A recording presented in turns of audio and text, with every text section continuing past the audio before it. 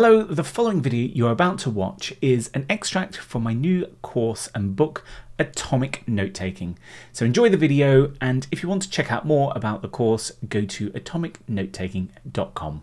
Externalization of your thoughts. This is where we refer to your knowledge system as being something that isn't stored in our own heads, that we use another system to store that information.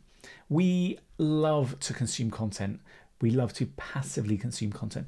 And we always think that if I've heard it, I'll probably remember it. And it's not always the case. So, having a way to not bombard your mind with trying to recall so much information, but put it in a system, put it in a knowledge system that is external to yourself. It means you can refer back to it, it means you can look it up, and most importantly, it means you won't forget it.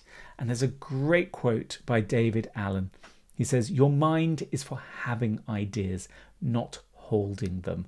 And it is so true. We are great thinking machines, we are not great knowledge machines.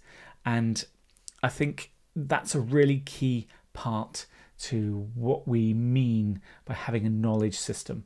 Sometimes we see it referred to as the second brain, and that is the idea that you know our thinking machine is is, is our first brain, and our second brain is our externalized knowledge system.